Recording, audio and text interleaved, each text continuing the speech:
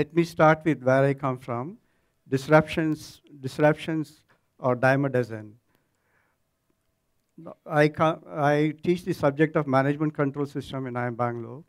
And in that, I look at how organizations look at disruptions and uh, how they handle, how they cope with, how they manage, and more importantly, this is more important, that how do they leverage from disruptions.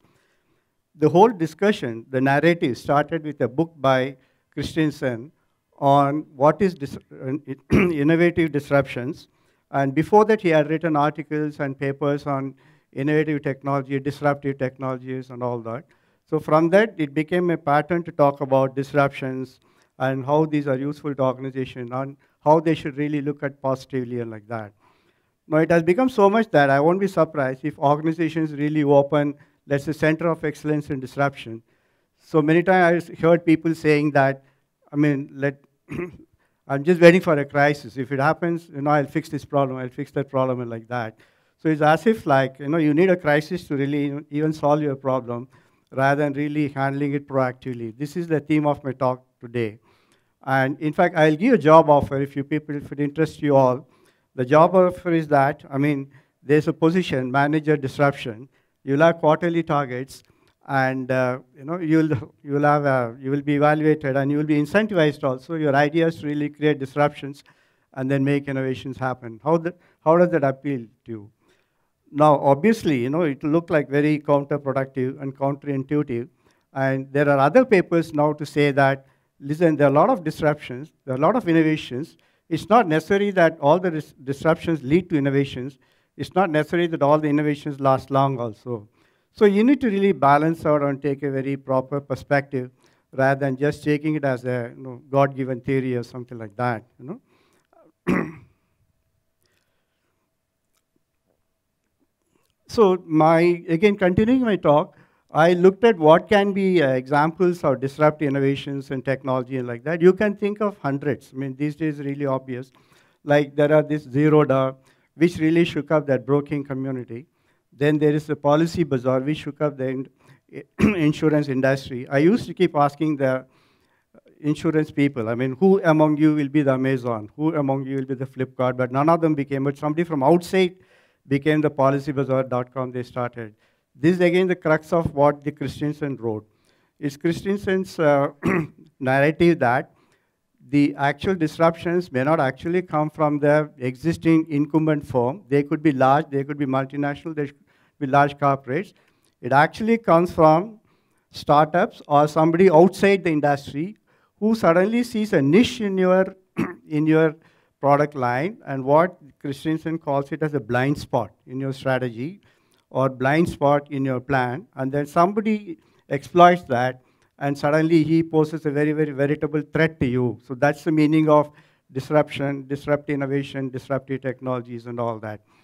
So, but I was trying to think for you students something outside the technology world. I mean, is it all technology? Disruption, is it all technology? Because intuitively we keep tend you know, equate with technology only because there can be process innovation, there can be supply chain innovation, disrupt innovations, I mean, which can really disrupt the existing way that things are all you know, distributed and processed and like that. And there can be disruptive products also, okay, which are non-technology products. So one of the classic example, let me take multiplex. So I think probably in 2000 or maybe before that, suddenly the theater started losing audience. So there were worries that will the theaters can survive this techno technological th I mean, threat from the home theaters and other later opportunities and like that. That time even Netflix and all were not there. And suddenly came this multiplex. If I am not wrong, I think it came in Europe.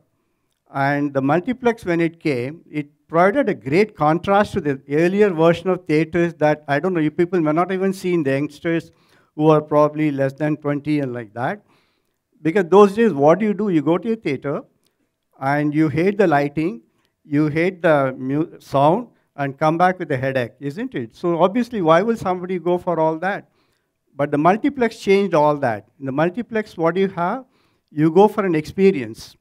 You buy a theater ticket for 200 rupees, buy popcorn for 500 rupees, enjoy the movie, and then hang around in the multiplex and then you come back. Isn't it? It's a very pleasant experience. You go with the family, and you book online. Isn't? I mean, what more you can really ex expect? That's an experience. That's what I meant when I said disruptive technology, where actually revived the theaters, you know, and we missed all those old theaters, in fact. Okay. And then you had organic food. Organic food were always there. Even my grandmother used to give me organic food when I was like you, you students. But then imagine the sort of supply chain that has come up for the whole organic chain, organic food. And it's now probably global also. And there's even an online trading happening, and it's now threatening the regular markets. So all the corporates are now going for organic food marketing like that. So it's not just organic food is the fad, now it has become fad also, but it, the whole supply chain has really developed and it's really breaking new grounds and like that. T20, so I was born on the side of Chepauk grounds in Triplicane in Chennai, okay. And for us, three-day Ranji matches, five-day test matches are religion, okay. We used to go there with family, we used to enjoy our pongal in the Chepauk grounds, and you know, that's a test of the capability of the cricketer that we all see the bowlers and cricketers like that. Okay. Now what has happened? Suddenly the T20 came. Suddenly, maybe after many decades of, you know, many decades of uh, five-day cricket matches, and then a decade of one-day matches, suddenly the T20 comes. Okay. And uh, for a traditionalist like us, we cannot still stomach it. Okay, in the sense that, listen, but how can you test somebody in 20, you know, 20 overs. I mean, is that game at all? Is it cricket at all? Isn't it? I mean, can you have a hockey matches decided by penalty corners? You know, that's what, that's why we would argue and like that. I mean, you know, T20 is something like that. But what is more disconcerting is that not only that I'm proved wrong, it has become so popular now. Nobody goes for the five-day matches and it's only T20 matches. So we are in the world of Twitter and T20s, isn't it? I mean, that's something uh, I mean, I'm not reconciled to, but I don't worry about because I'm already old anyway, you know. But uh, this is what is disruptive technology and disruptive innovation that people are talking about. Believe me, I'm in the education field for probably last 30 years, including my PhD career. And uh, I was trying to think of some innovation in education. It really fails me. Okay, I don't consider this online education education because what I'm doing offline, we are doing it online. Okay, we are not really even modified is, is there any new way of teaching we are doing? I really doubt it. And it's just technology, that's all. You know, professors have not changed, students have not changed. Maybe Corona made some changes to it. We are all back to our own old ways and like that. Okay, so I'm waiting for some disruption in education when probably maybe students may stop attending classes or I don't know what will be the disruption that it can really pose me. But that's still a place where we all keep talking about disruption, but we don't have. Now, imagine, I mean, you know, often, this is again my simple point I'm going to be speaking on. I'll give five areas where we really get disrupted day to day, but we are not able to handle. So my hypothesis is do have an eye for smaller, persistent disruptions. Okay. Don't keep waiting for disasters. Don't keep waiting for crisis. Don't keep waiting for recessions. Okay. My point is that imagine, let's say, a board meeting happening. I mean, it, I've seen it also. I was in the board of a bank. There's a fly whizzing around the chairman's nose and head. Entire board attention will be on that. Agenda can go to hell. You know, the next quarter can go to hell. People will get distracted by that. So that's the sort of sometimes obsessions we have about some of these persistent things, but we just don't know how to handle these. I'm just, that's more on the lighter side. More on the serious side, look at it. I mean, the corporates can handle external threats. It can handle competition. It can handle regulation. It can handle policy changes. It can handle global disruptions. But internally, they all shy away. Why? Because if it is external threat, we all pull together. The people muster all the powers. They, they can muster all the resources, and they know how to handle. But internally, it's a no-go area. You know, you people can challenge me, and I can prove myself. I mean, you know and look at it. Again, I mean, we are all told right from school days that stitching time saves nine stitching time and all, but that comes very low in the pecking order. If you really see, like, what is the stitching, stitching time and like that. Now, again, we are told rolling stone gathers no moss. stay put, and then gather you only mass. I mean, I've seen that, suppose, in my own career, I mean, there was one leader who said that he was, he was in World Bank, he was in, um, he was in editor of a newspaper, he was, uh, then he joined politics, he became an MP, leader, then he became again started book publishing. Again me, I was, I started my career in government, then I went to IIM Ahmedabad for education, then I was in consulting, software.com, again back to education, now I'm setting up a public policy school in Jain University.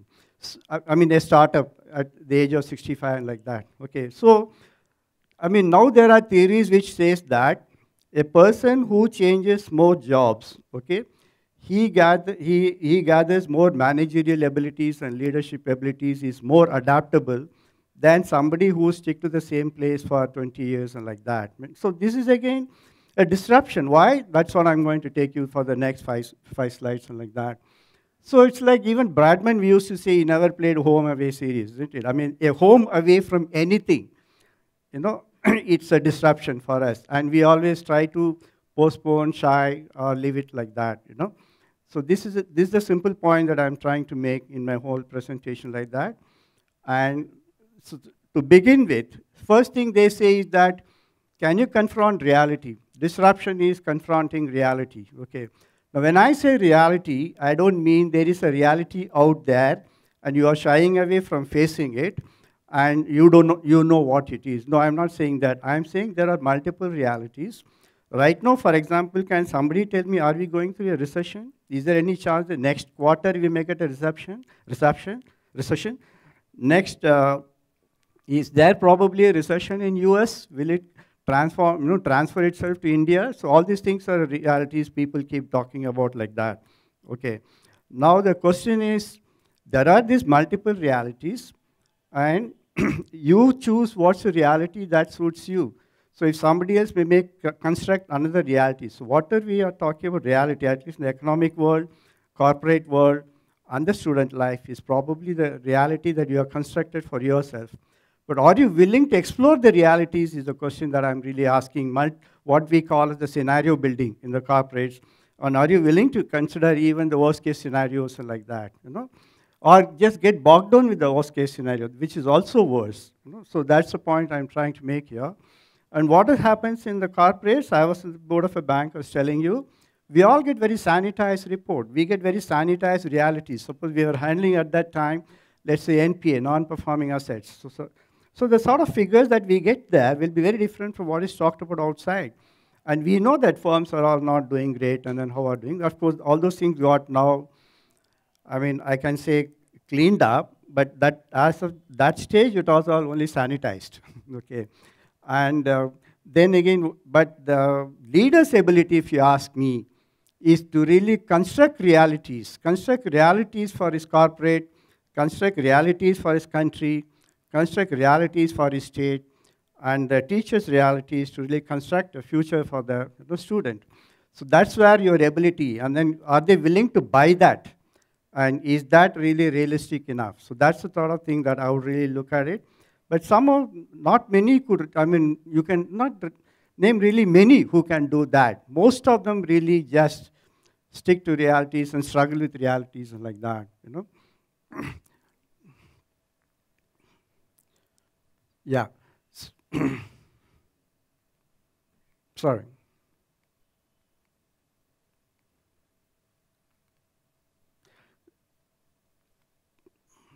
So another disruption that I really talk about is, I mean, you're all in the learning phase. The biggest challenge we keep talking about, can you unlearn? Okay imagine Kohli. I mean, so he was a century maker and he has been a consistent player. Just for one or two seasons, probably he couldn't crack any century. Then people started telling, oh, he has to change his batting stance. He has to change his, you know, uh, this particular stroke. He has to change his, uh, I mean, is the way that he stands and things like that. People started really prescribing for him, you know, and he's any day more specialist. But Kohli is Kohli, so probably, I don't know, he didn't take all their advice, but he did take some advices and practice in the net practice, and he bounced back. You know, but that's unlearning. In fact, I used to get one very funny example I can tell you from my own life. So I'll go to US, maybe let's say I land in New York, I come out of the airport, I take a cab, okay, I immediately go and sit on the driver's seat. Okay, because left-hand drive and right-hand drive. You know, the driver will immediately teach me, sir, you want to drive it, you drive it, no problem, sir. I'll sit through, no, no, no, no, I don't want to drive. And uh, so that's unlearning. It's very difficult. By chance, let's say you are driving in US for two years, take a bet you cannot drive in Bangalore. You know, one, not only the traffic part, but also changing from left hand to right hand to right hand driving to left hand drive like that. That's one example of, you know, I can think of which you can all relate to when I say unlearning. Now you think from the organizational context, how complex it can be. It can be about your strategy, it can be on your leadership, its style, it can be about your culture. All these things poses really a great challenge and like that.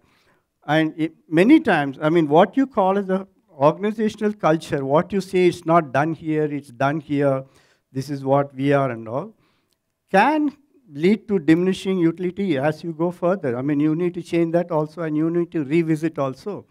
So it's not that simple, I mean, you know.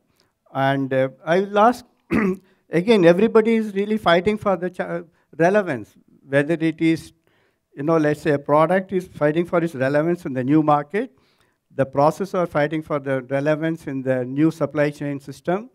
You know, like that, I can just keep adding. I mean, probably even your structure is outdated. So how do you really keep revisiting? That's what is the challenge. I will give you all one challenge to the students. You all been learning in a particular way. Each one of you would have, have your own way of learning. And then you know how you are performing. If you think there is something you need to change, why don't you try to do that? Try to do that and see how you fare then you will appreciate what I'm saying. You know, otherwise it look very simple, but you also try, then you will know where you stand like that. I mean, you know. Again, disruption. Many times we say that, I mean, there is a saying you all remember. I mean, it says that uh, be careful about what you wish for. So it's like winner's curse. I mean, I've seen many times, many corporates, after winning a tender, they don't know what to do, how to proceed, and then whether they've got really a you know, it's a blessing or a curse. Okay, that's what we call as winner's curse. And uh, I, have, I handle some cases in my management control system and in organizational theories and all that. I take cases of mergers and acquisitions. So the merger has happened, and uh, people are, I mean, on the day one, the problem starts. On day one, the cultural mismatch, the process mismatch, product mismatch, and all those things and then you really, and then probably 40% of the mergers could have been divested later. Okay. The, and then I'll tell you, I tell all my students, you know, they've got dream jobs, and I tell them, do just do a survey. After a year, how many of them stay in their dream jobs? Okay, so this is again something you, I mean, you know, you need to learn to handle. And there are theories now, like people say, I want the star profile, but after getting it, they keep struggling with him. You know, so this is again a challenge that corporates are try to figure out. There are articles in Harvard Business Review on star profiles and how do they perform like that. You know? And then many times, even the gold medalist, after getting it, he doesn't know what he should do next. Okay, and that's the sort of uh, confusions people. That's again sort of a vacuum, I would call, not much so much of a disruption, but definitely a vacuum you got. And finally, I would say that uh, disruption lies in implementing a resolution. How many resolutions you would have passed in your life, and uh, where do you stand on all those resolutions? I call it like the tyranny of the resolution. Oh, I didn't do any walking. I really feel that, you know, today is lost. You know, do you mean it's so bad? I mean, you know, I want to diet, but, you know, somehow I'm not able to control my eating. Now, that becomes the fear, and you start putting more weight because of that. I mean, no, don't take it. The obvious ones are the more uh, worrisome, and maybe, I, maybe psychologists would call it as obsessiveness or something like that. And that's again something people should learn to handle. I'm talking about you know small, small things. I'll again give students one challenge. I mean, can you really make a resolution to submit your assignment one day before, you know, and then see what sort of struggle you need to go through. But more importantly, sort of you building a guilt in you. I don't know why people build a guilt in you. I'm not, you know, I overeat today. So what? I mean, it's, you know, it's not going to last tomorrow. But people are worried about overeating today and like that. I mean, you know, that's where it is. And finally, okay, my simple point is I did not talk about tsunami. I did not talk about earthquake. I did not talk about, you know, let's say storm. I'm just talking about small, small things. And these are great disruptions, and we don't know how to handle with that. I'm sharing it with all my experience and my, all my experience observing others and uh, what I can share it with you all. So I, this is what. So what I would say is that, I mean, you don't have to really prepare for disruptions. You can proactively change also, and you can be proactively innovative also. And uh, of course, crisis does help. Crisis is too precious to be lost. When the crisis happens, do whatever you have to do, but you don't have to wait for a crisis, and don't be like a disruption manager, you know, in an organization, and just take it as it comes. Thank you.